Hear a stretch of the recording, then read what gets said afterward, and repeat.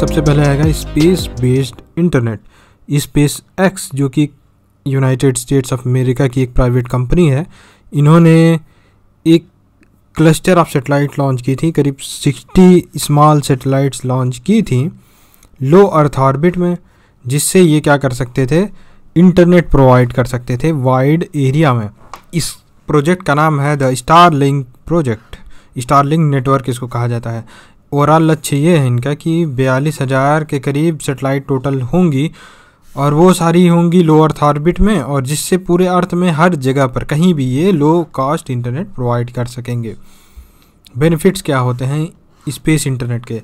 Accessibility जो है वो बेटर हो जाती है क्योंकि रिमोट एरिया जहाँ पे हम आ, केबल के थ्रू या आ, कह सकते हैं इसको फाइबर ऑप्टिक्स के थ्रू हम कनेक्शन नहीं पहुँचा सकते हैं वहाँ पे भी ये स्पेस के थ्रू, सेटेलाइट के थ्रू इंटरनेट पहुँचाया जा सकता है। जिस तरीके से अगर हम देखें कि डिश टीवी जो सिस्टम है, पहले जो था केबल नेटवर्क वो दूर दूर तक नहीं पहुँचता था, लेकिन जब से सेटेलाइट डिशेज आ गई, तब से हर कहीं भी लोग डिश टीवी का आनंद ले पाते हैं। उसी तरीके से इंटरनेट भी अगर हम डिश के थ्रू लेने लगेंगे तो कहीं भी हम रहें तो हम डिश आसानी से, सॉरी, इंटरनेट कहीं भी हम, उससे आसानी से कनेक्ट हो सकते हैं।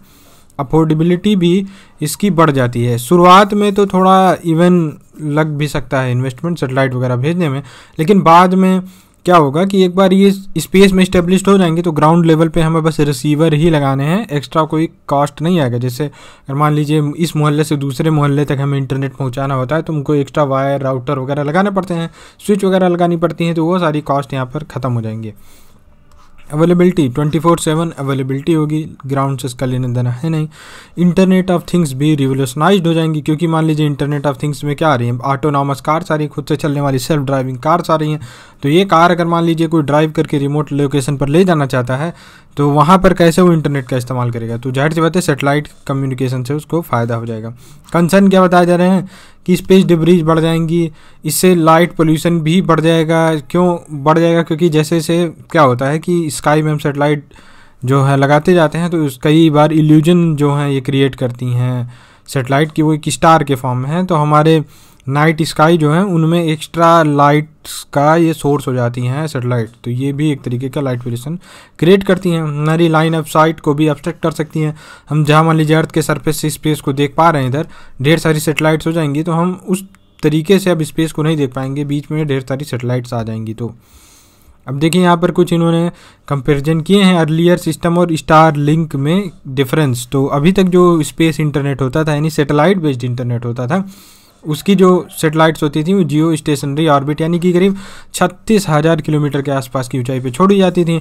वहीं पे ये वाली जो स्टार लिंक है, ये लो अर्थ सेटेलाइट्स होंगी, जो कि पैंतीस सौ सॉरी 350 किलोमीटर से 1200 किलोमीटर के बीच की हाइट में होती हैं। टाइम लैग और लेटेंसी ज़ाहिर सी बात है कि ये बहुत दूर है तो इसमें लेटेंसी काफ़ी ज़्यादा होगा। इसमें लेटेंसी काफ़ी कम होगा। 4G के कंपैरिजन में ये है कंपेरेबल है।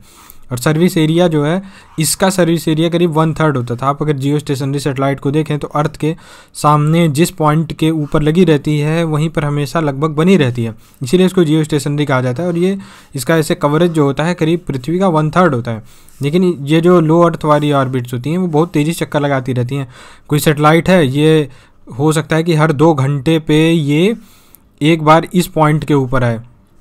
तो ये उतने ही दूर का कवरेज करेगा। वन थर्ड से कम कवरेज होता है क्योंकि इसकी ऊंचाई कम होती है। तो इसीलिए हमें ढेर सारे कॉन्स्टिलेशन ऑफ़ सेटेलाइट्स की ज़रूरत पड़ती है, ताकि जब ये आगे मूव कर जाए तो दूसरी आकर इसकी जगह ले ले ले। ज़मीन से काफ़ी पास होती हैं, इसलिए काफ़ी ज़्यादा हाई बैंडविथ और हाई फ्रिक्वेंसी डेटा भी आसानी से सेंड कर सकती हैं। अप लिंक डाउन लिंक इनकी हो सकती है हाइट कम होने की वजह से, और यहाँ पर लैग जो है वो काफ़ी कम है।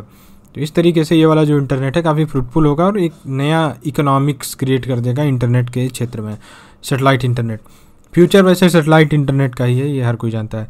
इन फ़्लाइट वाईफाई पहले क्या था?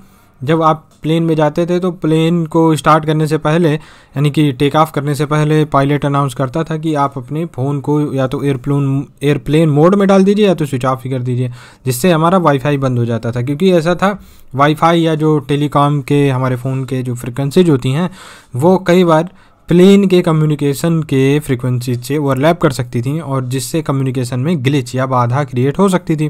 तो इसीलिए फ़ोन को या तो एयरप्लेन मोड में डाल दिया जाता है या तो शट डाउन करा दिया जाता है। लेकिन अब सिस्टम आ रहा है इन फ़्लाइट वाईफाई का। इन फ़्लाइट वाईफाई जो है, वो गवर्नमेंट ने उसकी मंजूरी दे दी है। एक नया नोटिफिकेशन इशू किया था कि किस तरीके से हमारी कंट्री में प्लेन्स जो हैं, वो इन फ़्लाइट वाईफाई का इस्तेमाल करेंगी। इन फ़्लाइट वाईफाई के लिए जो है, वो क्या करेगा? मेन कैप्टन होगा, वो अथॉरिटी होगा, वो कब ऑन करना है, इन फ़्लाइट वाईफाई को कब ऑफ़ करना है, ये निर्धारित करेगा। जब फ़्लाइट जो है, वो टेक ऑफ़ के टाइम में होगी या लैंडिंग के टाइम में होगी, जब उठ रही होगी ज़मीन से या वापस ज़मीन पर आ रही होगी, उस समय के अलावा जो बीच में उसका यात्रा के समय की स्टेबल जब स्पीड चल रही होती है क्रूजिंग फ़ेज़ में, तब जाके हम इस वाले वाईफाई का आनंद ले पाएँगे। और हर एक जो भी प्लेन जिसमें हम इन फ़्लाइट वाईफाई इंस्ट्रूमेंट लगाना चाह रहे होंगे, उसको डीजीसीए से हमें जो है वेरिफिकेशन सर्टिफिकेशन लेना होगा। अब ये किस तरीके से काम करता है? तो ये दो तरीके से काम कर सकता है। वाईफाई ज़ाहिर सी बात है, वो इंटरनेट का कनेक्शन चाहिए। उसको इंटरनेट के लिए। तो इंटरनेट के लिए लिंकिंग कहाँ से होगा? तो इंटरनेट के लिए या तो ग्राउंड के टावर से लिंकिंग होगा। जैसे हम, हमारे फ़ोन जो है ग्राउंड के टावर से लिंक होते हैं, ठीक है? लेकिन हर जगह पे तो ग्राउंड पे टावर होते नहीं है। जैसे अगर वो ओशियंस के ऊपर उड़ रहा हो, कोई ऐसी डिस्टेंट टेरेन पे उड़ रहा हो जहाँ पर टावर्स ना लगे हों तो ज़ाहिर सी बात है वहाँ पर ग्राउंड लेवल से उसका संपर्क नहीं हो सकता है। तो उस समय वो सेटेलाइट बेस्ड वाईफाई सिस्टम का प्रयोग करेगा। रिलेटेड न्यूज़ में देखें तो वाईफाई कॉलिंग की भी बात आई थी, जिसको एक्चुअल में टेक्निकली कहा जाए तो वी ओ वाईफाई कहा जाता है। इसका मतलब हो जाता है वॉइस ओवर इंटरनेट प्रोटोकॉल के थ्रू हमारी कॉलिंग हो रही होती है। ये एक high definition voice calling system होता है, जिसमें हम वाईफाई का इस्तेमाल कर रहे होते हैं अपने सेलुलर नेटवर्क के साथ साथ यूजुअली आप देखें तो यूजुअली हम जब फ़ोन से कॉल करते हैं तो वो सेलुलर नेटवर्क के थ्रू कॉल होता है। लेकिन हम जब व्हाट्सएप से कॉल कर रहे होते हैं तो वो जो कॉल होता है वाईफाई के थ्रू यानी इंटरनेट के थ्रू होता है। तो ये जो वॉइस कॉलिंग है यहाँ पर वाईफाई वॉइस वाईफाई कॉलिंग जो है, ये दोनों का हाइब्रिड है। ये क्या करता है कि सेलुलर नेटवर्क का तो प्रयोग करता ही है, लेकिन ये साथ साथ डेटा का भी इस्तेमाल करता है, यानी वाईफाई सिस्टम का इस्तेमाल करता है। जब आप फ़ोन करेंगे तो आसपास के आसपास जो भी आपके वाईफाई सिग्नल मौजूद हैं जो उस कंपेटिबिलिटी के हैं तो उनके डेटा का इस्तेमाल करके आपकी जो कॉल की क्वालिटी है वो इम्प्रूव हो जाएगी और शार्ट कॉल कनेक्शन टाइम भी हो जाएगा। इसके लिए यूज़र को एक्स्ट्रा पे करने की ज़रूरत नहीं है। भारतीय एयरटेल जो है वो इंडिया में सबसे पहले इसको लेकर आया था और इसके लिए किसी अलग से ऐप की ज़रूरत नहीं है, नए नंबर की भी ज़रूरत नहीं है ऑटोमेटिकली बैकग्राउंड में हो जाएगा। इसके लिए इतना ही है। अब हम देखते हैं अल्टरनेटिव एनर्जी के बारे में। काफ़ी इंपॉर्टेंट टॉपिक है यूपीएससी के लिहाज से। इसमें फ्यूल सेल की पहले बात की गई है। तो सी एस आई आर ने एक प्राइवेट पुणे बेस्ड एक इंजीनियरिंग फार्म है थर्मैक्स लिमिटेड इनके साथ मिल के डेवलपमेंट ये कर रहे थे इंडिजिनस फ्यूल सेल सिस्टम का, जो कि अब बन के आ गया है और इसको अनवील इन्होंने कर दिया है। अब कॉमर्शलाइजेशन कभी स्टार्ट होगा, इसको देखते हैं।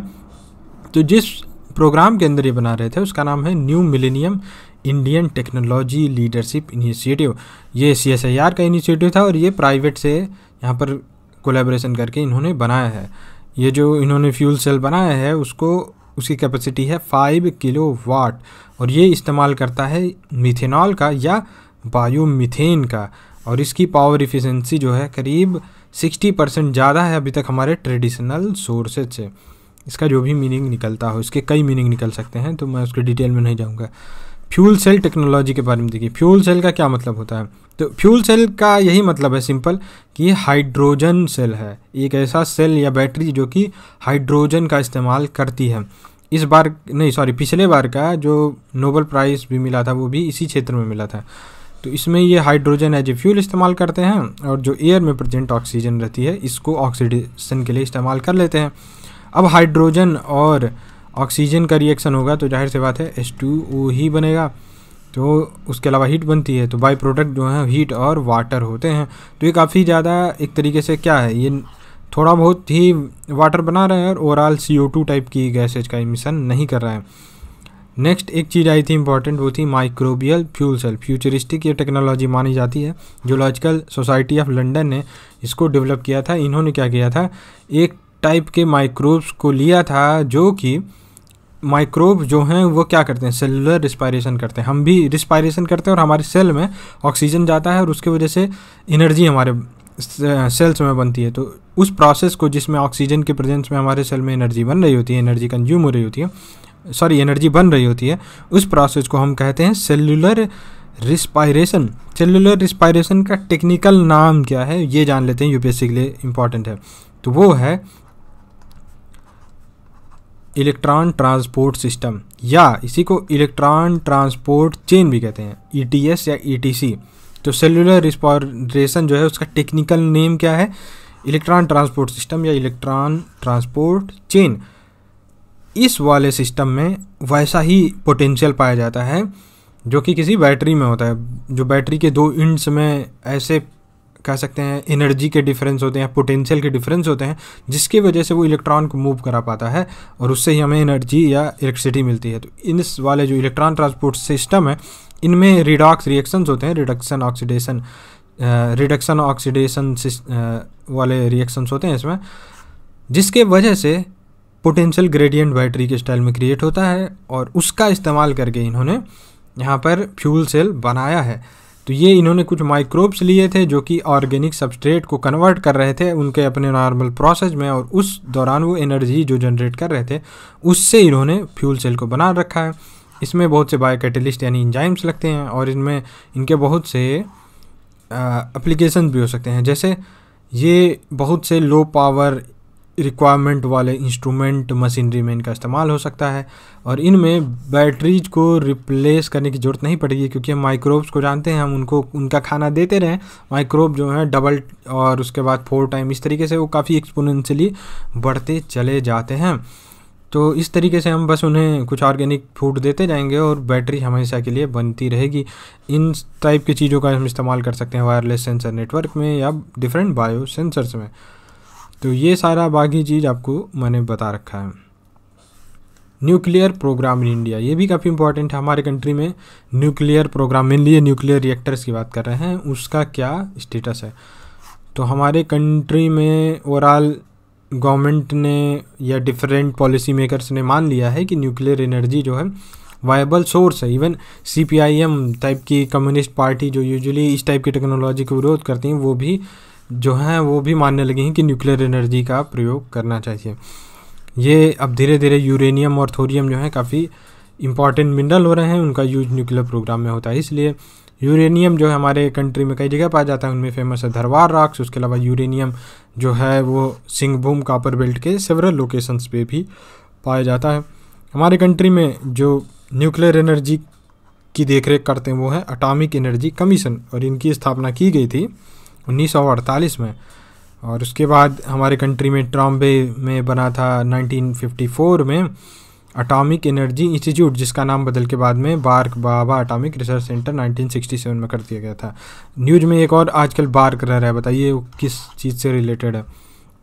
हमारी कंट्री में बहुत से न्यूक्लियर प्रोजेक्ट इस समय सक्रिय हैं, जैसे तारापुर महाराष्ट्र में रावत भाटा कोटा के पास कलपक्कम तमिलनाडु में नरोरा, उत्तर प्रदेश, कैगा, कर्नाटक और ककरापार, गुजरात में।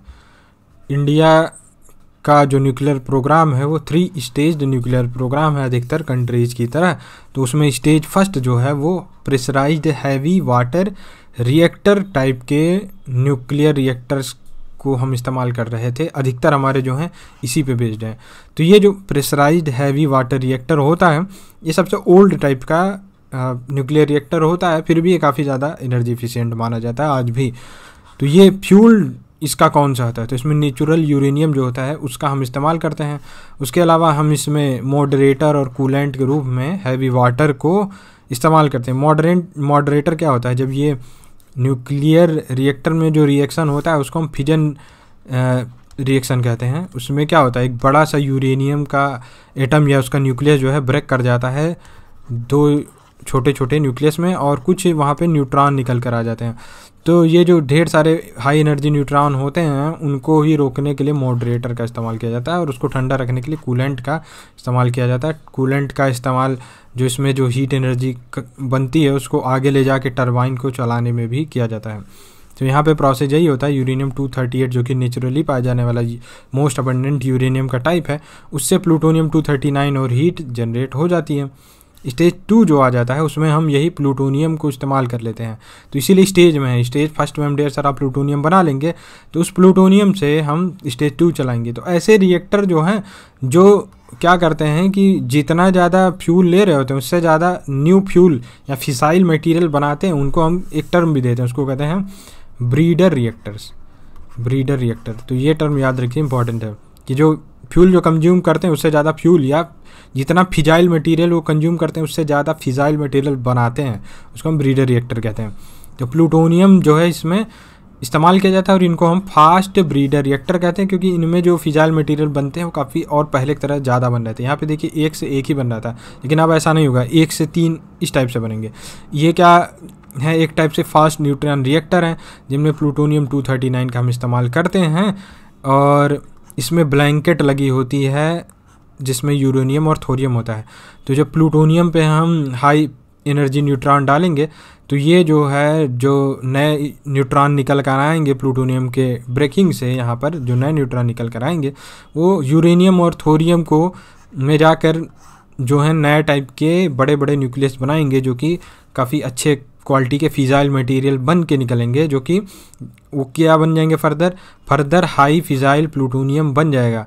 और साथ ही साथ यूरेनियम 233 बन जाएगा, जो कि बहुत ज़्यादा फिजाइल होता है। यानी बहुत फिजाइल का मतलब फिजन रिएक्शन उसका बहुत अच्छे से हो सकता है। यानी हम न्यूक्लियर रिएक्टर में बहुत अच्छे से उसका इस्तेमाल कर सकते हैं।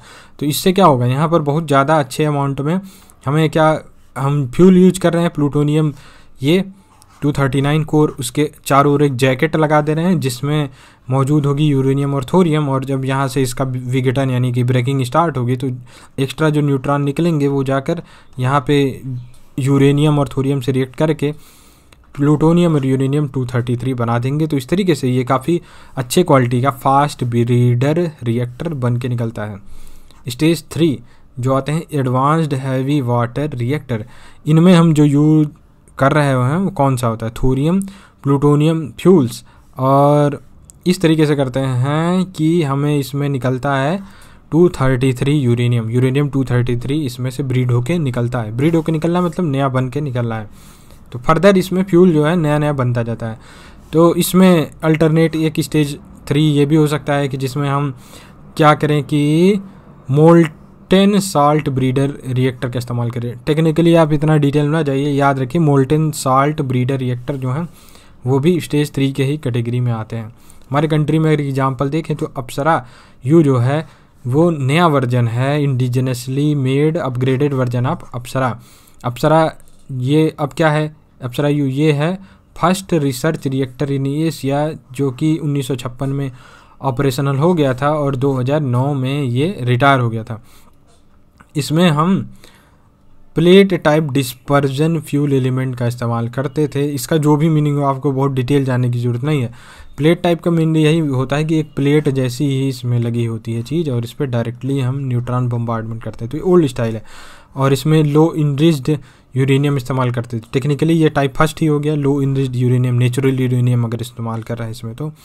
और इसमें बहुत ज़्यादा न्यूट्रॉन इसमें निकलता था तो ये जो है indigenous production of radioisotope भी से हम करते थे। इसका ये मतलब है, देखिए, दरअसल जब यूरेनियम इसमें प्लेट में फ्यूल में लगा हुआ है और यूरेनियम जब ब्रेक होता है तो छोटे साइज़ के कई डिफरेंट टाइप के रेडियो एक्टिव एलिमेंट्स बनाता है। वो आयोडीन भी बना सकता है ब्रोमीन भी बना सकता है। इन दोनों का ही काफ़ी हम इस्तेमाल करते हैं किसमें? कैंसर के ट्रीटमेंट में, जिसको कीमोथेरेपी भी कहा जाता है। वहाँ पे रेडियो कीमोथेरेपी में इसका इस्तेमाल करते हैं कैंसर के ट्रीटमेंट में। तो रेडियो आइसोटोप का जहाँ भी मेडिकल सेक्टर में इस्तेमाल हो, चाहे वो ट्रीटमेंट में हो, कई बार डायग्नोस्टिक के लिए भी हम बायोमेडिकल साइंस में इस्तेमाल करते हैं।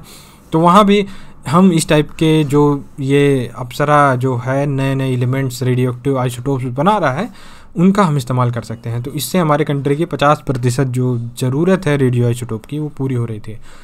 इसके अलावा इसका इस्तेमाल बहुत सा हमने किया था न्यूक्लियर फिजिक्स को समझने के लिए मटेरियल साइंस को समझने के लिए और रेडिएशन सील्डिंग को भी समझने के लिए कि किस तरीके से रेडिएशन अगर फैल जाए तो हम उससे अपना बचाव कैसे करें। हमारी कंट्री में न्यूक्लियर डेवलपमेंट की ज़रूरत ही क्या है? सबसे पहले तो इस समय वर्ल्ड में सबसे बेटर सोर्स माना जाता है इलेक्ट्रिसिटी प्रोडक्शन के लिए न्यूक्लियर एनर्जी तो न्यूक्लियर एनर्जी से काफ़ी अच्छे क्वालिटी की रिलायबल और इमिशन फ्री इलेक्ट्रिसिटी जनरेट होती है। तो एनर्जी सिक्योरिटी हमारी जो है बन जाती है। कार्बन इमिशन भी कम हो जाता है और सल्फ़र डाइऑक्साइड इमिशन जो कि आमतौर पे coal based fire power coal based power plant thermal power plant इन सब में सल्फ़र डाइऑक्साइड जो निकलती है, उससे भी हम निजात पा सकते हैं। तो इससे क्लाइमेट पे भी हमारा इम्पैक्ट कम हो जाएगा। हम कन्वेंशनल एनर्जी सोर्सेज को रिप्लेस कर सकते हैं, जैसे अभी तक थर्मल पावर प्लांट जो थी कंटिन्यूस सप्लाई होती है, क्योंकि ये जो एक बार रिएक्शन चेन स्टार्ट हो जाती है तो रुकने का नाम नहीं लेती सीजनल भी नहीं है कि वाटर के अमाउंट पे डिपेंड करती है तो ये अल्टीमेट है, ये कंटिन्यूस चलती रहेगी। और साथ ही साथ ये भी देखा गया है कि न्यूक्लियर एनर्जी और फॉरेन पॉलिसी में भी नेक्सस है। फॉर एग्जांपल जब 2008 में इंडिया और यूएसए ने न्यूक्लियर एग्रीमेंट किया तो इससे क्या हुआ कि हमारे यूएसए और इंडिया के बीच में जो बायोलेटरल संबंध थे हमारे डिप्लोमेटिक रिलेशन थे, वो काफ़ी ज़्यादा जो है सुदृढ़ हो गए। धीरे धीरे अमेरिका को भी विश्वास हो गया कि इंडिया के जो इरादे हैं न्यूक्लियर टेक्नोलॉजी को लेके, वो शांत इरादे हैं, वो मिसाइल और कोई न्यूक्लियर बम नहीं बनाना चाहता टम बम नहीं बनाना चाहता है। तो इस तरीके से यूएसए ने भी रिकग्नाइज़ किया कि ये इंडिया क्या है, एक रिस्पॉन्सिबल न्यूक्लियर वेपन स्टेट है और इसके नॉन प्रोलिफ्रिकेशन वाले इरादे हैं। अब चैलेंजेस क्या है? तो इसमें चैलेंज ये हो जाता है कि जब हम न्यूक्लियर मटेरियल निकाल रहे होते हैं माइनिंग करके, जैसे यूरेनियम जहाँ पर पाया जाता है, वहाँ की रॉक से जब हम निकाल रहे होते हैं यूरेनियम को तो ग्राउंड वाटर कंटामिनेट हो सकता है। धीरे धीरे हम जैसे रिसर्च बढ़ा रहे हैं तो हम देख रहे हैं सिक्सटीन स्टेट्स में हमारे यहाँ कई जगहों पर उनमें, उनके एक्विफर्स में यूरेनियम पाया जा रहा है, जिनमें राजस्थान और गुजरात में सबसे ज़्यादा केसेज मिले हैं। डब्ल्यूएचओ ने रिकमेंड की है लिमिट क्या होनी चाहिए? Thirty microgram per litre. Purity of uranium. हमारे कंट्री में जो यूरेनियम के डिपॉजिट्स हैं, वो काफ़ी लो ग्रेड के हैं, जिनमें पॉइंट वन फाइव परसेंट के करीब यूरेनियम है और कई बार साइंटिस्ट और बिजनेसमैन जो हैं, ये भी कहते हैं कि हमारा जो यूरेनियम है, वो इतने लो ग्रेड का है कि कॉमर्शियली वायबल भी नहीं है। जैसे रिसेंट में न्यूज़ में आया था कि एक जगह मिली है यूपी में, जिसमें इतना यूरेनियम की खान है कि हमारी कंट्री जो है सेल्फ डिपेंडेंट हो जाएगी यूरेनियम में बाद में उसका काफ़ी मज़ाक भी हुआ था। तो हमारी कंट्री में यही कंडीशन है, हमारे यूरेनियम जो है काफ़ी लो ग्रेड का है। हम अगर बाहर से यूरेनियम लेते हैं, सिर्फ़ ओर के फॉर्म में, और उसको इनरिच भी करते हैं, तब भी हमें काफ़ी सस्ता पड़ता है। और shift towards renewable energy पूरा वर्ल्ड जो है रिन्यूएबल एनर्जी की ओर जा रहा है। जैसे जैसे हम सोलर और विंड इन सब की ओर बढ़ रहे हैं तो ज़ाहिर सी बात है कि न्यूक्लियर एनर्जी जो है वो कुछ अब बैकवर्ड लुकिंग लगने लगा है। न्यूक्लियर एनर्जी के काफ़ी नुकसान भी होते हैं। जो हॉट वाटर जनरेट करता है, उसको अगर सही से बिना ट्रीट किए कई बार हम निकाल देते हैं अगर इन्वामेंट में तो उससे भी काफ़ी नुकसान है। कई बार उन वाटर्स में कई रेडियो आइसोटोप्स भी पाए जा सकते हैं, जिससे इन्वामेंट को काफ़ी नुकसान हो सकता है।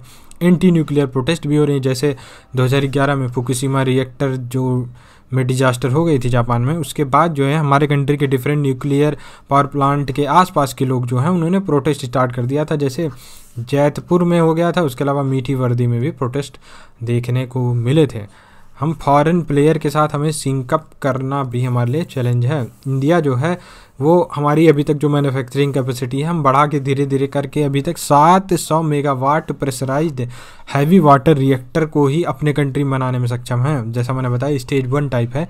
उनमें भी एडवांस्ड स्टेज वन कहलाएगा, क्योंकि इसके पहले तक 400-500 मेगावाट ही होते थे। लेकिन उनमें भी हम 700 मेगावाट ही पहुँचे हैं।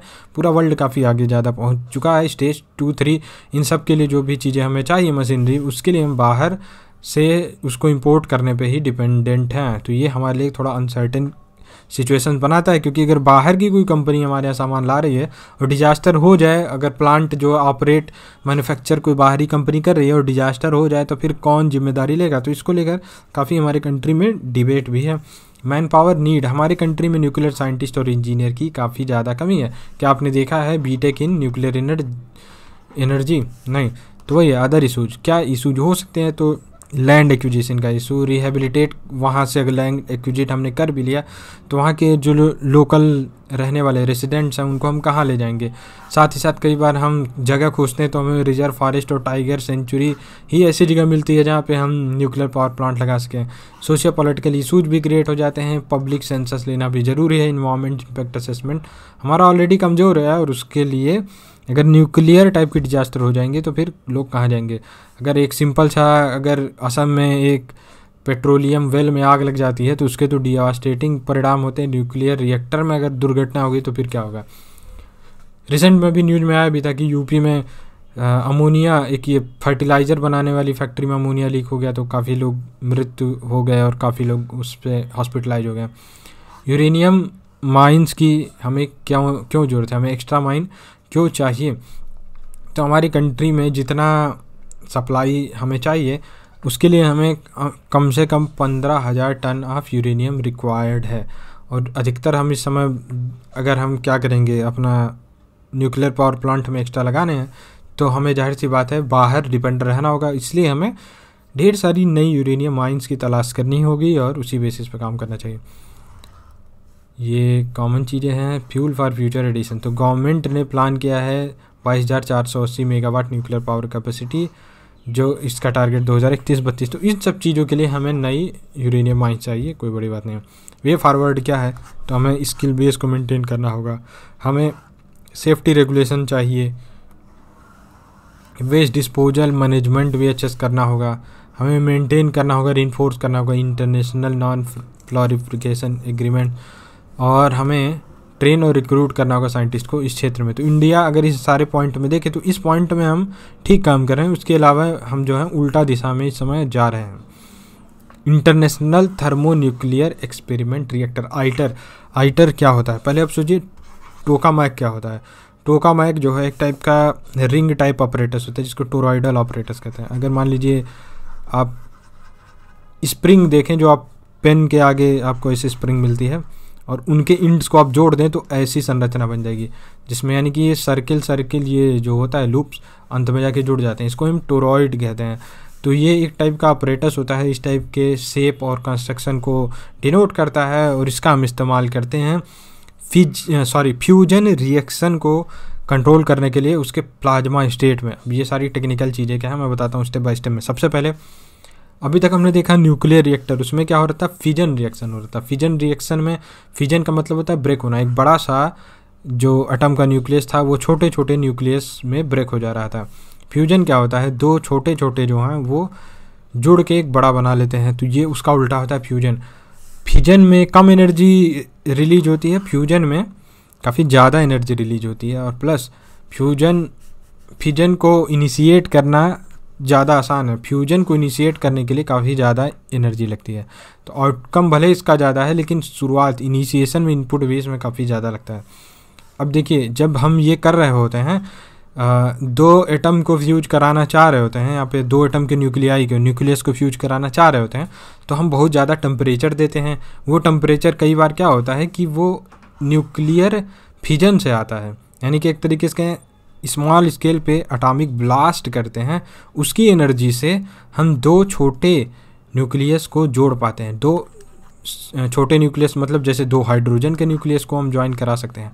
तो उसके लिए जो एनर्जी चाहिए, दोनों को ज्वाइन कराने के लिए बहुत ज़्यादा एनर्जी चाहिए। वो एनर्जी कई बार हम छोटे स्केल पे कराते हैं क्या? एटम का फिजन यानी कि एक तरीके से कहें छोटे स्केल पे एटम बम का ब्लास्ट कराते हैं, जिससे ये जुड़ के बड़े हीलियम के न्यूक्लियस में कन्वर्ट हो जाते हैं। अब ये जब हम एनर्जी इनको प्रोवाइड कर रहे थे ज़्यादा तो ये क्या होते हैं? ये एक टाइप से बहुत ही हाई एनर्जी स्टेट में चले जाते हैं। गैसेज हैं हाइड्रोजन हाइड्रोजन, लेकिन ये हाई एनर्जी स्टेट में चली जाती हैं और ये एक लिक्विड की तरफ़ फ्लो करने लगती हैं। सन के अंदर जैसी कंडीशंस होती है, बहुत ज़्यादा हाई एनर्जी, यानी बहुत ज़्यादा टेम्परेचर पे जब गैसेज पहुँचती हैं तो वो लिक्विड की तरफ़ व्यवहार करने लगती हैं और उस स्टेज को कहा जाता है फोर्थ। स्टेट ऑफ़ मैटर, यानी कि वो हो जाती है चौथा state of matter, solid liquid gas के अलावा एक नई टाइप की लिक्विड बन जाती है, जिसको हम कहते हैं प्लाज्मा। ठीक है? तो ये हो गया। अब फिफ्थ स्टेट ऑफ़ मैटर क्या होता है? तो प्लाज्मा में कन्वर्ट हो जाती हैं तो हम हाई एनर्जी देते हैं तो प्लाज्मा में कन्वर्ट हो जाती हैं और उनके न्यूक्लियस जुड़ जाते हैं और वो बन जाती है एक बड़ा न्यूक्लियस। अब ये क्या है यहाँ पर कि ये जो प्लाज्मा स्टेट में इनको मेंटेन करना जो है, यही चैलेंज है। इसीलिए हम नहीं कर पा रहे हैं। ये हमारा फ्यूजन रिएक्शन जो है, हम फिजिबली नहीं कर पा रहे हैं। एक आध दो करा लेते हैं, लेकिन लॉन्ग टर्म नहीं करा पाते। फ्यूजन रिएक्शन में आप देखिए तो मैंने आपको बताया था ना कि वहाँ चेन रिएक्शन स्टार्ट हो जाता है। दो में ब्रेक हो जाता है। यहाँ पे हम इसको न्यूट्रॉन दिए रहते हैं तो न्यूट्रॉन की वजह से ब्रेक हो जाता है। एक्स्ट्रा यहाँ पे न्यूट्रॉन निकल जाता है। ये न्यूट्रॉन जाता है, किसी और को ब्रेक कर देता है। कई बार तो एक एक से तीन तीन चार चार न्यूट्रॉन निकलते हैं, वो सारे जाकर अन्य को ब्रेक करा देते हैं। तो काफ़ी चेन रिएक्शन स्टार्ट हो जाता है। लेकिन यहाँ पर ऐसा नहीं है। एक बार जुड़ गया, फिर अगर हल्का सा हम एनर्जी कम हो जाएगी तो फिर वो वापस गैसियस स्टेट में चले जाएँगे। फ्यूजन रिएक्शन तुरंत वहीं ब्रेक हो जाएगा। तो इसको मेंटेन करने के लिए वर्ल्ड लेवल पे इंटरनेशनल कोलेबोरेशन से, खासकर फ्रांस में जो है, वो आइटर एक्सपेरिमेंट जो है चल रहा है, आइटर प्रोजेक्ट चल रहा है, जिसमें इन्होंने टाका मैक जो है उसको बनाया है, जो कि एक एक्सपेरिमेंटल मैग्नेटिक फ्यूजन डिवाइस है, जिससे हम फ्यूजन की एनर्जी को हार्नेस कर सकते हैं। ये जो एनर्जी निकल कर आती है, वो एब्जॉर्ब हो जाती है टोकामैक के वाल्स में और वेसल्स में, और फर्दर हम वही करते हैं। हीट एनर्जी जो है वो वाल्स में लग गई है। उससे हम क्या करेंगे कि वाटर को हीट कर लेंगे, फिर वो गर्म वाटर जो है जाएगा स्टीम में या तो बन जाएगा या तो उसको दूर ले जाएँगे और टरबाइन पे हम स्टीम को डाल देंगे। उससे टरबाइन मूव करेगा और बिजली बन जाएगी। ऐसा ही न्यूक्लियर रिएक्टर्स में भी होता है। हम यूज़ करते हैं मैग्नेटिक फ़ील्ड को कंटेन और कंट्रोल करने के लिए प्लाज्मा को, मैंने बताया प्लाज्मा स्टेट को मेंटेन करना बहुत ही ज़रूरी है तो टोकामैक यही करता है, जिससे प्लाज्मा स्टेट में होने से ही फ्यूजन हो सकता है। फ्यूजन वहाँ पर हम यूजुअली किसका करा रहे हैं? ड्यूटीरियम और ट्राइसियम न्यूक्लियाई का हम फ्यूजन करा रहे हैं। प्लाज्मा क्या है? आयनाइज स्टेट ऑफ़ मैटर है, जो कि सिमिलर टू गैस होता है फोर्थ स्टेट ऑफ़ मैटर भी कहते हैं, और ये बहुत ही एक्सट्रीम टेम्परेचर पे बन के आता है। ड्यूटीरियम ट्राइसियम जो हैं, ये क्या हैं? ये आइसोटोप ऑफ़ हाइड्रोजन है। ड्यूटीरियम से भारी होता है ट्राइसियम। ठीक है दोनों ही हाइड्रोजन के आइसोटोप हैं। तो इस तरीके से मैंने आपको सिंप्लीफाइड बता रखा है। तो टोकामैक ये जो आइटर प्रोजेक्ट के अंदर है, इसका क्या उद्देश्य है? तो ये जो डिज़ाइन किया गया है, ये इस तरीके से डिज़ाइन किया गया है कि ये 500 मेगावाट ऑफ़ एनर्जी को बना सकता है। ट्राइसियम ब्रीडिंग को भी हम यहाँ पे टेस्ट कर रहे हैं कि क्या इस मेथड से हम फर्दर ट्राइसियम बना सकते हैं या नहीं। आइटर प्रोजेक्ट के बारे में देखिए तो ये उन्नीस सौ पचासी में लॉन्च हुआ था। यह एक एक्सपेरिमेंटल फ्यूजन रिएक्टर फैसिलिटी है, जो कि अभी ज़्यादातर बन ही रही है और ये कहाँ पर? साउथ ऑफ़ फ्रांस के काटराचे एरिया में है। इसका उद्देश्य है कि प्रूव करना कि न्यूक्लियर फिजन को हम फ्यूचर सोर्स एनर्जी के रूप में इस्तेमाल कर सकते हैं। और इन ऐसा करने के लिए क्या करेंगे? तो वर्ल्ड का लार्जेस्ट ओका मैक बनाएँगे इंटरनेशनल कोलेब्रेशन करके। और जब अभी तो हम क्या कर रहे हैं कि इसमें, अभी तक मैंने बताया कि शुरुआत में ही हमें बहुत ज़्यादा एनर्जी देनी पड़ती है। और बाद में न्यूक्लियर फ्यूजन से थोड़ा एनर्जी और निकलती है तो ओवरऑल न्यूक्लियर फ्यूजन से काफ़ी ज़्यादा एनर्जी निकलती है। लेकिन अभी तक हम उस एनर्जी को हार्नेस नहीं कर पा रहे हैं, अभी तो हम एनर्जी दे ही रहे हैं। तो फ्यूचर में ऐसा हो पाएगा कि हम जितना एनर्जी दे रहे हैं, उससे कहीं ज़्यादा एनर्जी निकाल पाएँगे। तो नेट एनर्जी प्रोडक्शन जो है अल्टीमेट इसका टारगेट होगा। आइटर के मेंबर कौन कौन से हैं? तो China, European Union, India, Japan, Korea, Russia और यूनाइटेड स्टेट्स मिला के टोटल पैंतीस नेशंस हैं इसके मेंबर्स इसमें बहुत सी चीज़ें होती हैं, जो लोग कोलेबोरेट कर रहे हैं, वो लोग cost of project construction operation and decommissioning इन सबको शेयर करते हैं एक्सपेरिमेंटल रिज़ल्ट को भी शेयर करते हैं और इंटेलेक्चुअल प्रॉपर्टी को भी शेयर करते हैं। यूरोपियन यूनियन जो है, चूँकि होस्ट पार्टी है, वो कंट्रीब्यूट करता है फोर्टी फाइव परसेंट उसके अलावा बाकी सारी कंट्री नौ प्रतिशत ईच कंट्रीब्यूट करती हैं। अब हम देखें तो इंडिया का कंट्रीब्यूशन क्या है? तो इंडिया ने 2005 में काफ़ी लेट में इसको ज्वाइन किया था। इंडिया की रिस्पॉन्सिबिलिटी है कि क्रायोस्टेट यानी कि एक ऐसा सिस्टम जो कि उसको कूलिंग प्रोवाइड करता है या ख़ास टाइप के उसको क्रिस्टल स्टेट में बनाने में मदद करता है, उसको इन्होंने दिया है। इन्होंने involve shielding cooling water system cryogenic system heating system diagnostic neutral beam system power supply और सम डायग्नोस्टिक सिस्टम्स भी दिए हैं। तो ये कुछ इंपॉर्टेंट नहीं हो जाता है। कब ज्वाइन किया था? ये इंपॉर्टेंट है इंडिया ने 2.2 बिलियन भी लगाया है। आइटर इंडिया नामक एक डोमेस्टिक एजेंसी भी बनाई गई है, जो कि इंस्टीट्यूट ऑफ़ प्लाज्मा रिसर्च जो कि डिपार्टमेंट ऑफ़ एटॉमिक एनर्जी के अंडर में आता है। तो उसके अंडर में ही एक ये बॉडी बनाई गई है, जो कि इंडिया की को वहाँ पर रिप्रेजेंट करती है। अदर रिलेटेड न्यूज़ में देखें तो Kakrapar atomic power plant KAPP three ने क्रिटिकलिटी को अचीव कर ली है। क्रिटिकलिटी क्या होती है? क्रिटिकलिटी वही है कि चेन रिएक्शन स्टार्ट हो जाए। शुरुआत में जब हम मान लीजिए यूरेनियम को ब्रेक करते हैं, एक न्यूट्रॉन से हाई एनर्जी न्यूट्रॉन से यूरेनियम या कोई भी फिसाइल मटेरियल को ब्रेक करते हैं तो कई बार वो ब्रेक हो जाता है, लेकिन उतने अमाउंट में न्यूट्रॉन नहीं निकलते हैं कि फर्दर वो अन्य न्यूट्रॉन से चेन रिएक्शन स्टार्ट करे। तो जब क्या होगा कि एक समय आएगा अटैक करते करते कि यूरेनियम ब्रेक होते होते अपने के बराबर या अपने से ज़्यादा न्यूट्रॉन को जनरेट करने लगेंगे। तो वो स्टेट जब ये रिएक्शन जो है चेन में चला जाएगा सेल्फ सस्टेनिंग हो जाएगा, उसको ही हम कहते हैं क्रिटिकलिटी तो इसने क्रिटिकलिटी अचीव कर ली है, यानी अब एक्टिव हो गया है।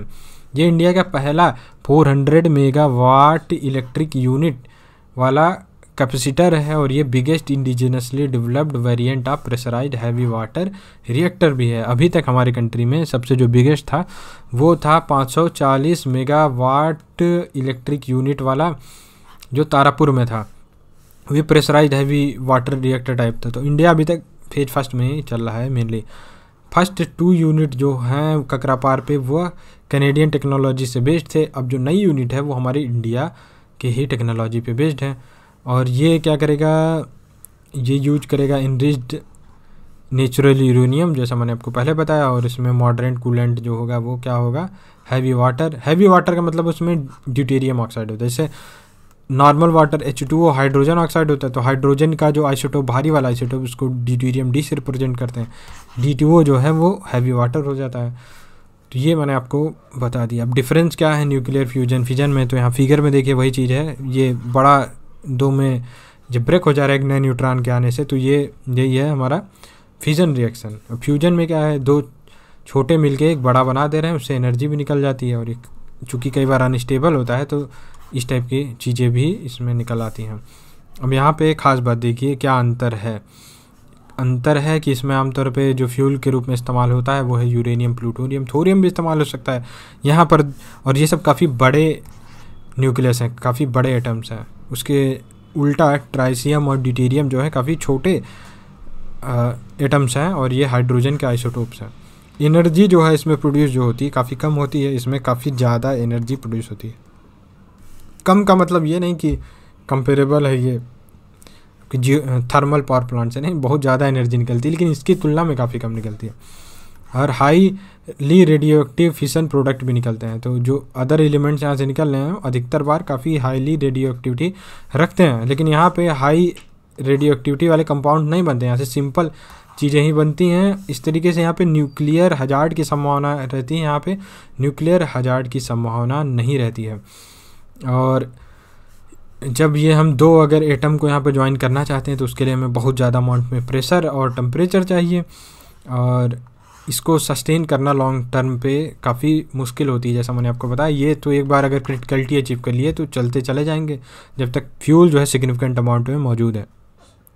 एडवांटेज क्या है? फ्यूज़न एनर्जी की। तो इससे तो अबेंडेंट एनर्जी निकलेगी, काफ़ी ज़्यादा एनर्जी निकलेगी, जो कि इवन शुरुआत में महँगी पड़ सकती है, लेकिन अल्टीमेटली इतना वो चीप होगी कि हम उसकी आज के आज के जितने भी हम एनर्जी सोर्सेज का इस्तेमाल करते हैं, उसके मुकाबले काफ़ी ज़्यादा सस्ती हो जाएगी। अगर हम धीरे धीरे इसको कॉमर्शियल स्केल पे करने लगे तो काफ़ी सस्टेनेबल है, क्योंकि जो उसमें फ्यूल इस्तेमाल होता है, वो काफ़ी नेचुरली पाए जाते हैं, उन, हम उनको केमिकली बहुत आसानी से सिंथेसाइज भी कर सकते हैं और इन एग्जॉस्टिबल हैं। डिटेरियम जो है वो हर टाइप के वाटर में कुछ परसेंट होता है, हम उसको वहाँ से डिस्टिल कर सकते हैं केमिकली भी सिंथेसाइज कर सकते हैं। ट्राइसियम जो है न्यूक्लियर फ्यूजन रिएक्शन में खुद ही बन जाता है। तो जब फ्यूजन के न्यूट्रॉन जो हैं वो लिथियम से टकराते हैं तो वहाँ पे ट्राइसियम बन जाता है। तो ट्राइसियम हम बना सकते हैं और ड्यूटीरियम खुद भी बना सकते हैं। ड्यूटीरियम को हम डिस्टिल वाटर से भी, सॉरी, हम वाटर से निकाल भी सकते हैं खुद। तो इस तरीके जो इनके फ्यूल हैं, वो हर जगह पाए जाते हैं और बनाए भी जा सकते हैं। ज़ीरो कार्बन इमिशन होगा और इनका जो मेजर बाई प्रोडक्ट इनमें निकल रहा है, हमने देखा कि वो हीलियम, जो कि इनर्ट, नॉन टॉक्सिक गैस है, वो निकल रही है। जो काफ़ी सेफ़ भी है। No high activity long lived radio waste तो इसमें रेडियो वेस्ट बनता ही नहीं है तो दुर्घटना की संभावना भी ना के बराबर है। लिमिटेड रिस्क ऑफ़ प्रॉलिफरेशन इसका इस्तेमाल जो है यूरेनियम प्लूटोनियम की तरह आसानी से ऐसे नहीं किया जा सकता है कि हम अभी तक की टेक्नोलॉजी से कि इसको आसानी से हम बम बना सकें। ये ऐसा इतना आसान नहीं है इसको, इस बम बना पाना। पर जो है इसीलिए इससे प्रॉलिफिकेशन की संभावना कम हो जाती बम लोग नहीं बना पाएँगे। No risk of meltdown अगर मान लीजिए जैसे न्यूक्लियर रिएक्टर के केस में क्या होता है? न्यूक्लियर रिएक्टर यानी कि फिजन रिएक्शन में क्या होता है कि कई बार अनकंट्रोल्ड हो जाता है। अगर मॉडरेंट कूलेंट सील्डिंग ये सब सही से नहीं है तो वहाँ पर हेजार्ड क्रिएट हो जाते हैं। फुकुशिमा उसका अच्छा एग्जांपल है। लेकिन यहाँ पे क्या है कि अगर कोई भी डिस्टर्बेंस होता है तो सिंपली जो टोराइड फ़ंक्शन जो है, जैसे ही उसका फ़ंक्शन थोड़ा सा फ्लक्चुएट होगा तो प्लाज्मा कूल कर जाएगा और ये न्यूक्लियर सॉरी ये फ्यूजन प्लांट जो है तुरंत बंद हो जाएगा। तो ऑटोमेटिकली ये सेल्फ क्रिटिकल अपने आप में ख़त्म हो जाएगा। कास्ट जो है शुरुआत में बहुत ज़्यादा एक्सपेंसिव है अभी तक की टेक्नोलॉजी से, लेकिन बाद में जैसे जैसे होगा तो ये ये फ्यूचर की टेक्नोलॉजी है और इसका ज़रूर इस्तेमाल होना चाहिए। आइटर में इंडिया के पार्टिसिपेशन को हम क्रिटिकली एनालाइज करें, क्योंकि 2017 से इंडिया ने अभी तक कंट्रीब्यूशन जो है कैश वाला कंट्रीब्यूशन नहीं दिया है। हम काफ़ी कम ह्यूमन रिसोर्सेज को आइटर साइड पे भेज रहे हैं। हमने सिर्फ़ 25 इंडियन अभी तक भेजे हैं, उनमें से जो अधिकतर हैं वो काफ़ी यंग हैं और हमें मिला था कि हम सौ इंजीनियर भेज सकते हैं तो ज़ाहिर सी बात हमने सिर्फ़ पच्चीस भेजे हैं। तो फिर चाइना जैसे देश जो हैं वो काफ़ी फ़ायदा उठा सकते हैं। तो ज़ाहिर सी बात है, जब ऐसे रिसर्च इंस्टीट्यूशन चूँकि आइटर जो है रिसर्च भी पब्लिश करता है, उसमें इंडियन का पार्टिसिपेशन कम रहेगा तो हमारे पेटेंट भी कम रहेंगे। हमारे जो इंटेलेक्चुअल नॉलेज है, उसमें भी हमको कम शेयर मिलेगा तो हम किसको नुकसान पहुँचा रहे हैं? अपने आप को खुद नुकसान पहुँचा रहे हैं। ये तो मतलब पैसा दे भी रहे हैं, हम ओपन अपॉर्चुनिटी है तो इसको क्यों हम मिस कर रहे हैं? इंडिया ने जूनियर पर वर्चुअल इवेंट हो रहा था इसका आइटर का। तो उसमें क्या हुआ कि बाकी देश के जो काफ़ी बड़े बड़े साइंटिस्ट हेड ऑफ़ स्टेट्स बात कर रहे हैं, और इंडिया से कौन लोग गए? सिंपल सिंपल कुछ यंग लोग, कुछ डिप्लोमेट्स इस टाइप के लोग गए। मतलब टोटली अनप्रोफेशनल अप्रोच थी वहाँ पर इंडिया के द्वारा। तो इंडिया जो है, भले वो बड़ी बड़ी जो चीज़ें फ़ेमस हो जाती हैं, अचानक से एआई इस टाइप की रोबोट्स इन सब में अचानक से इंडिया हमारी कूद जाएगी। लेकिन जो ऑलरेडी ये काफ़ी समय से चला रहा है और ये फ्यूचर है, हमें अभी नहीं दिख रहा है। अगले पचास साल में एकदम से फ्यूचर है हमारा। अगले पचास साल में एकदम श्योर ये आने की बहुत ज़्यादा इसकी संभावना है। लेकिन हम इसमें अपना प्रयास कितना लगा रहे हैं? ना के बराबर। तो यही है कि जिसमें हम आसानी से कर सकते हैं, उसको हम नहीं करें। मिसलेनियस टॉपिक्स भी देख लेते हैं। साइंटिफिक सोशल रिस्पॉन्सिबिलिटी ये क्या है? डीएसटी ने एक ड्राफ्ट रिलीज़ किया साइंटिफिक सोशल रिस्पॉन्सिबिलिटी पॉलिसीज़ के लिए। जैसे कारपोरेट सोशल रिस्पॉन्सिबिलिटी होती है, कारपोरेट चूँकि सोसाइटी के बहुत से ऐसे चीज़ों का इस्तेमाल कर रहे होते हैं तो उनको सोसाइटी को उल्टा देने के लिए कारपोरेट से या तो पैसा लिया जाता है या सर्विसेज़ ली जाती हैं। उसी तरीके से साइंटिस्ट जो हैं, सोसाइटी से बहुत कुछ लेते हैं। सोसाइटी को उल्टा दें, इसके लिए साइंटिफिक सोशल रिस्पॉन्सिबिलिटी का कॉन्सेप्ट लाया गया है। तो इंडिया मोस्ट प्रॉब्ली ऐसा पहली कंट्री वर्ल्ड में बनेगी जो कि ऐसा करती हैं। पॉसिबली लिखा है, इन्होंने तो मैं बताता हूँ कि एक्चुअल में ऐसा है नहीं। ऐसा बिल्कुल भी नहीं काफ़ी पहले से स्वीडन में, जहाँ पे पीएचडी करने का जो स्टैंडर्ड है, सबसे हाई माना जाता था। जब मान लीजिए इंडिया में अब धीरे धीरे सिस्टम आ रहा है कि पीएचडी अगर आपको सबमिट आपकी तभी मानी जाएगी। पीएचडी सबमिट का मतलब थीसिस सबमिट अभी तभी होगी जब आपने एक रिसर्च पेपर पब्लिश किया हो। अब रिसर्च पेपर में क्या होता है? कई लोगों के नाम होते हैं ऑथर्स कई होते हैं। उनमें से आपका कहीं भी नाम है, किसी भी क्वालिटी का रिसर्च पेपर है, जो कि एटलीस्ट जितने जर्नल्स हैं, हमारे यूजीसी ने प्रेस्क्राइब किए उनमें से घटिया वाले में भी हो और एक में पचास लोगों का नाम उसमें भी आप हो, तब भी आपका पीएचडी जो है सही मान लिया जाएगा। स्वीडन में ऐसा नहीं है। स्वीडन में पीएचडी करने के लिए आपको चाहिए single author single name journal यानी कि सिंगल नेम जर्नल कौन होते हैं? जैसे नेचर साइंस, इस टाइप के जो बड़े जर्नल्स हैं, उनमें आप अकेले अपने बल पे पेपर पब्लिश करेंगे, तभी जाके आपको पीएचडी मिलेगी। फिर उसके बाद क्या है, स्वीडन में जो पीएचडीज होती हैं पब्लिक फंडेड होती हैं, यानी जनता के पैसे से पीएचडीज होती हैं, जैसे इंडिया में भी होती हैं अधिकतर। तो वहाँ पे आपने पीएचडी कर ली तो पीएचडी से जो आती है आपकी थीसिस वो क्या होगी? वो थीसिस अब आपको उसकी कॉपीज ढेर सारी बनानी है और कंट्री की जितनी पब्लिक लाइब्रेरी हैं, उनमें आपकी थीसिस ओपनली अवेलेबल होगी। क्योंकि आपने पैसा पब्लिक से लिया है तो पब्लिक के पास आपका नॉलेज जाना है। पीएचडी कंप्लीट करने के लिए वहाँ पर एक्स नंबर ऑफ़ आवर्स आपको social service teaching knowledge spreading इन सब में देना होता है।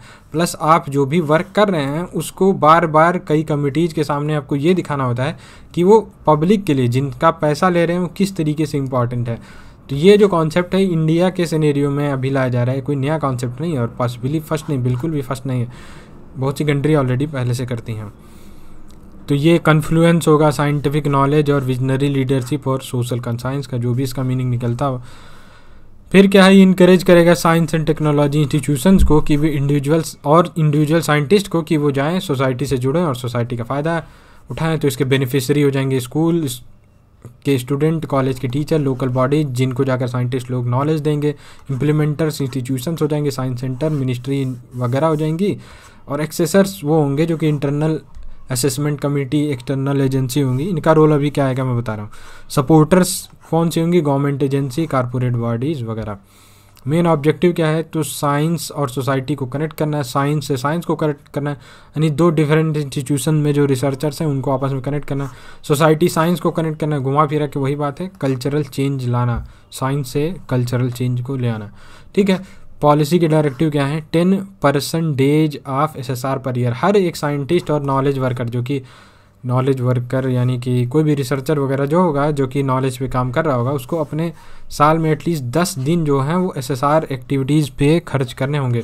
आउटरीच एक्टिविटी की भी बात कही गई है कि सारे नॉलेज इंस्टीट्यूशन यानी रिसर्च इंस्टीट्यूशन जो हैं, वो क्या करेंगे? एक इम्प्लीमेंटेशन प्लान बनाएँगे कि उसको कैसे एस एस आर गोल को अचीव किया जाए।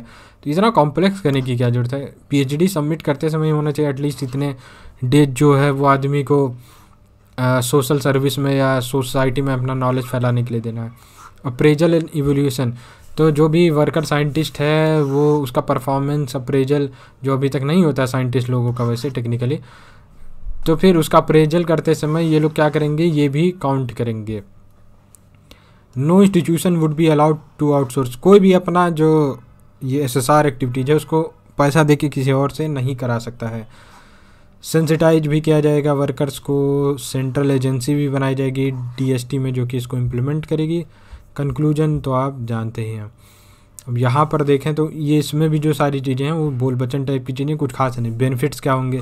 सोल्यूशंस प्रोवाइड हो जाएँगे। जैसे हमारे इंडिया में साइंटिस्ट लोग जो है रिसर्च ऐसा करते हैं कि उससे ऑलरेडी हमको सोल्यूशन मिल रहे हैं तो हम जब ये लोग जनता में जाएँगे तो उससे सोल्यूशन प्राप्त हो जाएँगे। स्टार्टअप इकोसिस्टम भी डेवलप हो जाएगा। सोसाइटी में इनके जाने से स्टार्टअप इकोसिस्टम कैसे डेवलप होगा? स्टार्टअप के लिए तो गवर्नमेंट या इंस्टीट्यूशन को स्टार्टअप इकोसिस्टम खुद देना चाहिए। स्ट्रेंथन करना होगा institution and integration of science and technology वही चीज़ें कोऑपरेटिव इन्वामेंट स्टील सब तो कॉमन चीज़ें हैं। आगे बढ़ते हैं। फिफ्थ स्टेट ऑफ़ मैटर आ गया। तो नासा ने ऑब्ज़र्व किया पहली बार बोस आइंस्टीन कंडेंसेट को इंटरनेशनल स्पेस स्टेशन में। बोस आइंस्टीन कंडेंसेशन कंडेंसेट जो होता है, उसमें देखिए, बोस कौन है? तो वह सत्येंद्र नाथ बोस, जो कि इंडियन साइंटिस्ट हैं। आइंस्टीन को तो आप जानते हैं सर अल्बर्ट आइंस्टीन। तो इन दोनों ने मिल के नाइनटीन में इस सिद्धांत को थ्योरेटिकली बताया था कि एक ऐसा स्टेट ऑफ़ मैटर भी हो सकता है जो कि बिल्कुल अलग हो। तो हमने फोर्थ देख लिया ये आ जाएगा फिफ्थ। तो फिफ्थ स्टेट ऑफ़ मैटर जो है इसको B C Bose Einstein condensate कहते हैं। क्या होता है कि कुछ आप मान लीजिए कुछ आ, इस समय के हमारे एटम्स को ही ले लें कोई एलिमेंट के कुछ एटम्स को ले लें उनको हम बहुत ही लो टेम्परेचर पे यानी कि ज़ीरो केल्विन यानी कि minus minus two seventy three point one five degree Celsius degree भी होना चाहिए। सेल्सियस पे ले जाएँ तो फिर क्या होगा वो इस तरीके से फ्रीज हो जाएँगे कि उनमें ना के बराबर मोशन होगा और वो एक नए क्वांटम स्टेट पहुँच जाएँगे। उनकी जो क्वांटम मैकेनिकल प्रॉपर्टी जो वो एकदम से चेंज हो जाएगी और वो प्योर क्रिस्टल की तरह व्यवहार करेंगे। इसका मतलब क्या होगा? क्रिस्टल क्या होता है? आम चीज़ें अगर हम देखें, आप साल्ट देखिए साल्ट में सारी चीज़ें भुरभुरी होती है रैंडमली अरेंज होती है। लेकिन अगर डायमंड को देखें तो एकदम से वो परफेक्ट तरीके से उसके अंदर मॉलिक्यूल अरेंज होते हैं, खास पैटर्न में और वो इस तरीके से होता है मतलब लाइट भी जाती है तो खास इधर उधर टकराती नहीं है और सीधा जाने को जा सकती है, जहाँ तक भी उसको सीधा पाथ मिलेगा। लेकिन साल्ट के साथ ऐसा नहीं साल्ट के सरफेस से ही अधिकतर चीज़ें टकरा जाती हैं। तो क्रिस्टल में क्या होता है, चीज़ें अरेंज होती हैं बहुत ही अच्छे ऑर्डर में। तो ये क्या हैं, जब हम बोस आइंस्टीन कंडेंसेट बनाते हैं तो जो एटम्स हैं और सब अटॉमिक पार्टिकल्स वो खास टाइप से ऑर्डर में प्योर क्रिस्टल स्टेट में पहुँच जाते हैं। तो ये होता है बोस आइंस्टीन कंडेंसेट। तो इसमें हम सुपर कूलिंग कर देते हैं और एटम और पार्टिकल्स इन सबको कि वो सिंगल क्वांटम स्टेट में चले जाते हैं। ज़ीरो केल्विन या minus two seventy three point one five degree Celsius में इसको अचीव किया जा सकता है। और सारे जो इससे बोस आइंस्टीन कंडेंसेट बनते हैं तो उनका जो पार्टिकल वेव फ़ंक्शन होता है, यूनिफाइड हो जाता है आसानी से, वो आसानी से सम किया जा सकता है, सिंपल समेसन की तरह तो सिंगल वेव मैटर की तरह बिहेव कर सकते हैं। एक्सट्रीमली फ्राइजाइल होते हैं, बाहर से हल्का भी टेम्परेचर आ गया, हल्का सा भी हीट आ गई, हल्का सा भी मोशन मिल गया, मोशन में भी एनर्जी होती है तो ये बोस आइंस्टीन कंडेंसेट जो है, ब्रेक हो सकता है। उसके भी वैसे मेथड हैं, जिनमें हम उनको थोड़ा बहुत डिस्टर्बेंस में भी मेंटेन कर सकते हैं, लेकिन बहुत ज़्यादा फ्रेजाइल होते हैं, आप यही समझिए। इस टाइप के एक्सपेरिमेंट से हमें क्या फ़ायदा होगा? तो हम जनरल रिलेटिविटी जो आइंस्टीन का सिद्धांत था, जिससे टाइम को किस तरीके से हम देख सकते हैं डिफरेंट फेजेज में, ये सारी चीज़ें जो हैं टाइम ट्रेवल वगैरह टाइप की थ्योरीज या लाइट किस तरह बेंट होती है ग्रेविटेशन किस तरह काम करता है तो ये सारी चीज़ें हम जनरल रिलेटिविटी से देख सकते हैं। तो ये इसको समझने में मदद मिलती है। डार्क एनर्जी को हम समझ सकते हैं ग्रेविटेशनल वेव को समझ सकते हैं स्पेस के नेविगेशन में भी मदद मिल सकती है। क्वांटम मैकेनिक्स को माइक्रोस्कोपिक लेवल पे भी समझने में मदद मिल सकती है, क्योंकि सारे पार्टिकल मिलकर एक बड़े से क्वांटम, सिंगल क्वांटम स्टेट में चले जाते हैं। इसलिए सब surface, mineral, on the moon and other planetary body जहाँ पे टेम्परेचर काफ़ी कम होता है और बहुत से पार्टिकल जो हैं वो बहुत ज़्यादा लो टेम्परेचर पर होते हैं तो वहाँ भी हम समझने में उनको मदद हमें मिलती है ज़रूर।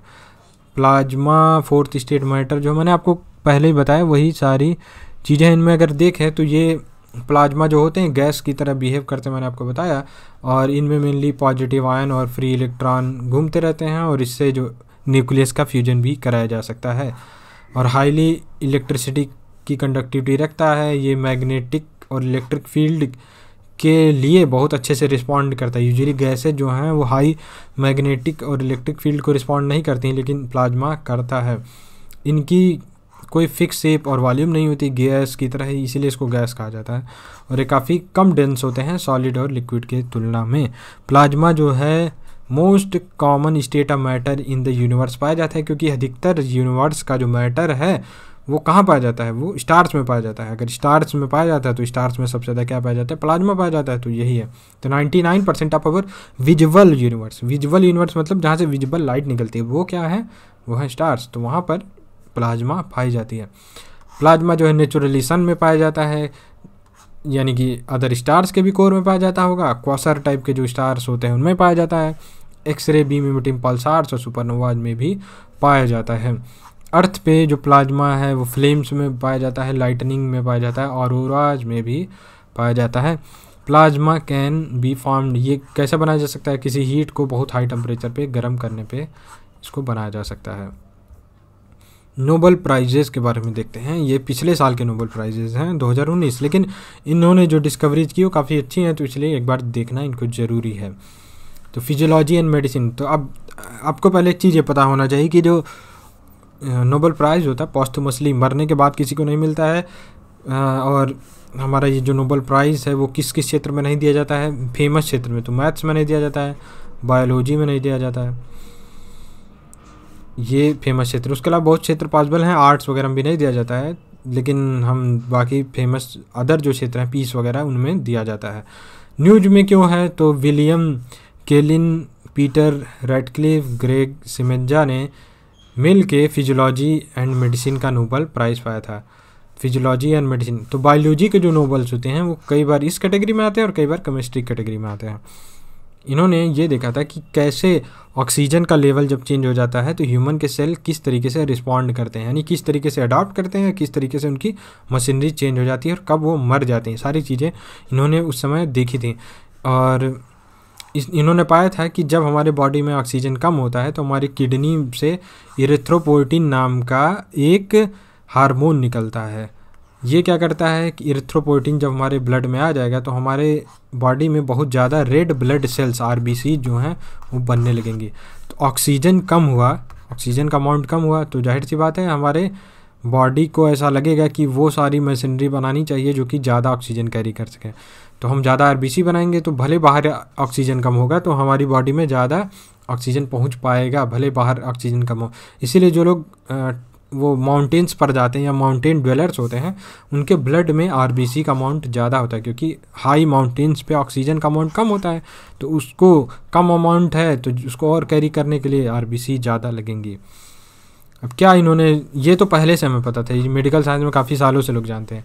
इन्होंने क्या देखा था कि जब हाइपोक्सिक कंडीशन में चल जाती है लो ऑक्सीजन कंसनट्रेशन के स्टेट में चल जाती है तो वो एक प्रोटीन बनाती है, जिसको कहते हैं हाइपोक्सिया इंडिजिबल फैक्टर यानी हिफ फैक्टर जिसको कहा जाता है।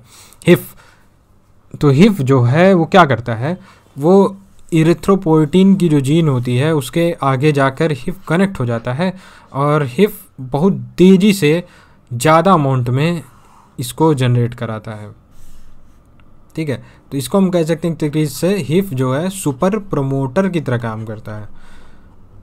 जो जीन के जीन के एक्सप्रेशन को बढ़ाते हैं रेगुलेट करते हैं, वो होते हैं प्रोमोटर्स तो प्रोमोटर जो कि बहुत ज़्यादा तेज़ी से बढ़ा दें, वो जाएँगे सुपर प्रोमोटर्स तो यहाँ पे लिखा टर्बो चार्ज कर देता है। टर्बो चार्ज तो मैकेनिकल टर्म है। तो ये सुपर प्रोमोटर की तरह काम करता है। तो फिर जब ज़ाहिर सी बात है ऑक्सीजन वापस अच्छे से मिलने लगेगा तो फिर हिफ का अमाउंट कम हो जाएगा हिफ का अमाउंट कम हो जाएगा तो ई e का अमाउंट भी कम हो जाएगा और कुछ समय बाद धीरे धीरे करके आरबीसी मर जाएँगी तो उतने अमाउंट में पहले की तरह आरबीसी नहीं बनेंगे सिग्निफिकेंस क्या हो जाता है? ऐसी स्टडी का। तो इससे सेल फंक्शनिंग समझने में हमें काफ़ी मदद मिलती है। ऑक्सीजन के लेवल जो हैं, वो कई चीज़ों को डिटरमाइन करते हैं। पहले तो हमारे बॉडी में ऑक्सीजन का लेवल जो है, वो लॉन्जेविटी को भी बताता है। कोई कितना लंबे समय तक जीवित रहेगा। एजिंग के चीज़ों को समझा जा सकता है। तो हिफ का इस्तेमाल काफ़ी किया गया है एजिंग प्रोसेस को समझने के लिए। उसके अलावा इसका दूसरा इस्तेमाल सबसे फ़ेमस है, वो कैंसर बायोलॉजी में है। कैंसर में क्या होता है? कैंसर टिश्यू जो होते हैं, जिनको हम ट्यूमर्स कहते हैं तो ट्यूमर जो है, उनमें ढेर सारी सेल्स होती हैं। अब सेल्स को क्या चाहिए? ज़िंदा रहने के लिए ऑक्सीजन चाहिए। और ऑक्सीजन कहाँ से आता है? ऑक्सीजन ब्लड से आता है। तो ढेर सारी कैपिलरीज यानी कि माइक्रो ब्लड वेसल्स बनाती हैं। माइक्रो ब्लड वेसल बना के आसपास के टिश्यूज से वो ब्लड ले लेती हैं और ऑक्सीजन ले लेती हैं। इसीलिए और न्यूट्रिएंट भी ले लेती हैं। इसीलिए आसपास के टिश्यू मरने लगते हैं कैंसर के ट्यूमर के प्रेजेंस की वजह से। तो इससे हमें समझने में मिलती है कि किस तरीके से हमारे बॉडी में नए ब्लड वेसल्स बनते हैं, किस तरीके से रेड ब्लड सेल्स बनते हैं, हमारा इम्यून सिस्टम कैसे काम करता है, वो भी ऑक्सीजन डिपेंडेंट होता है। फीटल और प्लेसेंटा डेवलपमेंट को समझने में भी मदद मिलती है और किस तरीके से कैंसर के ट्यूमर्स ग्रो करते हैं, ऑक्सीजन सेंसिंग करते हुए। कैंसर और एनीमिया के केसेज को सॉल्व भी किया जा सकता है इसकी मदद से। तो हिफ को हम समझ जाएँ तो जो एंजियोजेनेसिस प्रोसेस होता है, जिससे जिससे ब्लड वेसल्स बनती हैं ट्यूमर में। एंजियोजेनेसिस का मतलब सिंपली यही होता है न्यू ब्लड वेसल बनती है। लेकिन ट्यूमर की जो एंजियोजेनेसिस होती है, उसको अगर हम समझ लें, हिफ के मदद से और हिफ का रोल भी जान जाएँ तो हम कैंसर के ट्रीटमेंट में एक और स्टेप आगे बढ़ सकते हैं। केमिस्ट्री का नोबल प्राइज़ तो ये मिला था 2019 का है। तो John D Goodenough M Stanley Whittingham Akira Yoshino इनको मिला था। इन्होंने लिथियम आयन बैटरीज को डेवलप किया था। ये जो है यहाँ पर आ जाता है।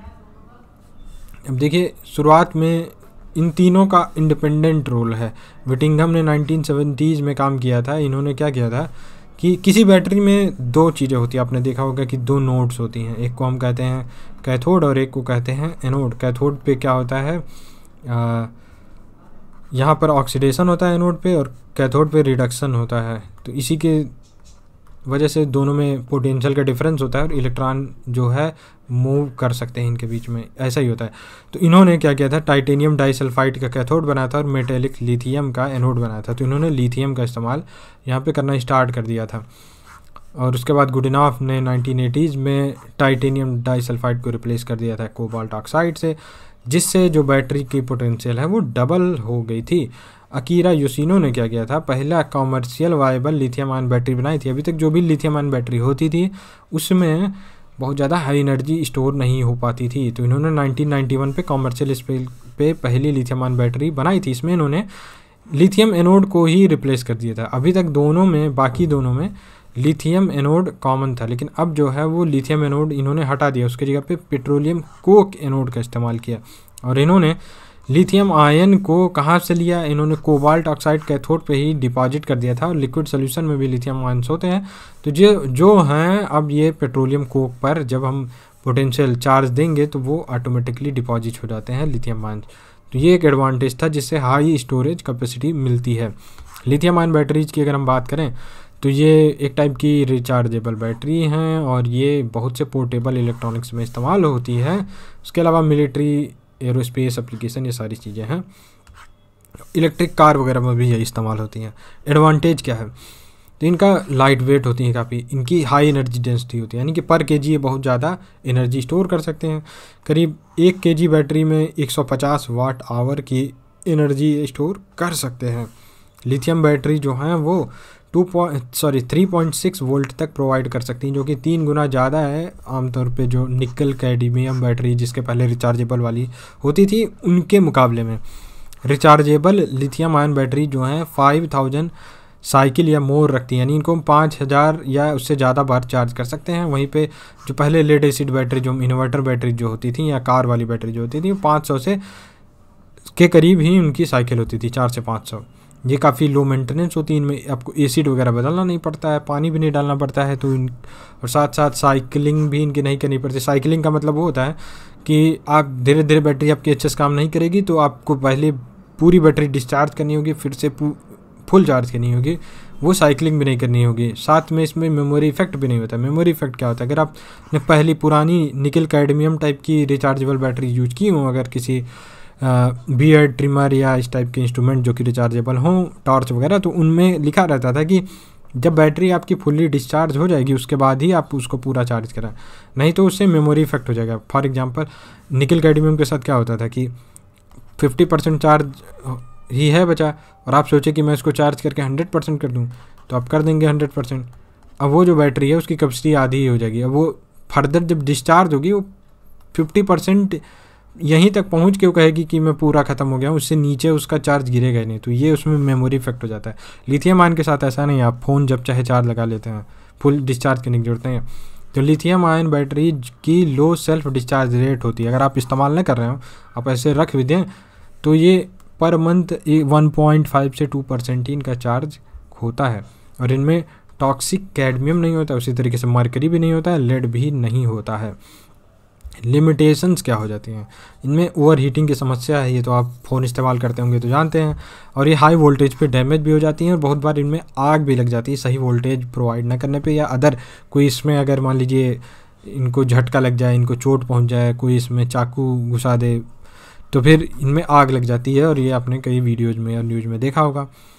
प्लस हमें अलग से सेफ्टी मैकेनिज्म भी लगानी पड़ती है कि आ, हाई वोल्टेज ना जा रहा हो इंटरनल प्रेशर इसमें ना बिल्ड आपने देखा होगा ये बैटरी स्वेल कर जाती हैं।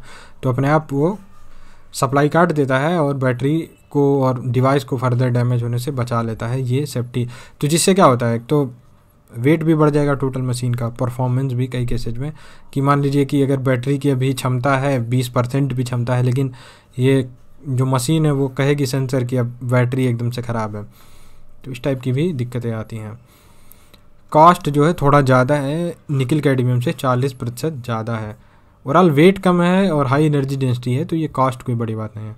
लिथियम लिथियम बैटरी इंडिया में हम देखें तो गवर्नमेंट ने लोकसभा में बताया था कि इंडिया ने जो इंपोर्ट करते थे 2016-18 से, उससे हमारा इंपोर्ट जो है वो अभी तक काफ़ी मोर देन ट्रिपल हो गया और हम जितने पैसे का मंगाते थे वो भी करीब करीब काफ़ी ज़्यादा बढ़ गया है, ट्रिपल के करीब हो गया है।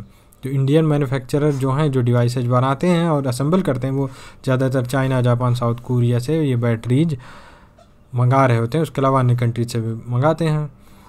और ये सब कोई डेटा इंपॉर्टेंट है। नहीं स्टेप क्या लिए हैं इंडियन गवर्नमेंट ने? तो यूनियन कैबिनेट ने 2019 में एक प्रोग्राम को अप्रूव किया था, जिसका नाम था national mission on transformative mobility and battery storage जो कि नीति आयोग का ही एक तरीके से विजन है कि वो इंडिया में बैटरी बनाने की फैसिलिटी डेवलप करेंगे। क्योंकि जिस तरीके से ई मोबिलिटी हमारे कंट्री में बढ़ेगी तो हम या तो बाहर से ढेर सारी बैटरी मंगाएँ तो उससे अच्छा हम अपनी कंट्री में ही बैटरी बना लें।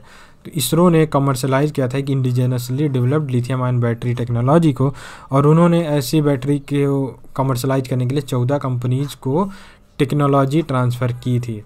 उसी तरीके से सेंट्रल इलेक्ट्रोकेमिकल रिसर्च इंस्टीट्यूट, जो कि सी एस आई आर के अंडर में आता है, इन्होंने राशि सोलर पावर लिमिटेड के साथ मिल के एक मेमोरेंडम ऑफ़ एग्रीमेंट साइन किया है कि पहली इंडिया की लिथियम बैटरी प्रोजेक्ट को ये इस्टेब्लिश करें। ये 2018 की बात है।